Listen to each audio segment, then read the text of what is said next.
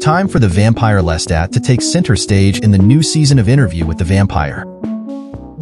In Season 3, the spotlight shifts to the iconic vampire Lestat as he takes control of his narrative. With the first book wrapped up in Season 2, it's time to dive into Anne Rice's second book, The Vampire Lestat. In Season 3, resentful of his portrayal in the bestseller Interview with the Vampire, Lestat decides to set his story straight in a way only he can. By starting a band and going on tour. Gabrielle, Nicholas, Magnus, Marius. Those who must be kept. They join Louis, and others we can't reveal yet on a sexy pilgrimage across space, time, and trauma. No auto-tuning. No trigger warnings. All feels amplified.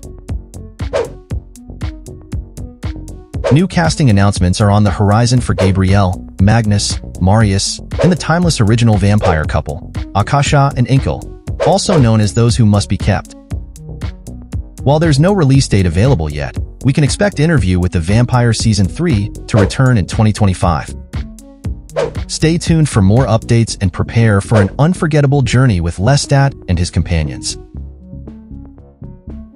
Like, subscribe, and hit the notification bell to stay updated on all things interview with the vampire.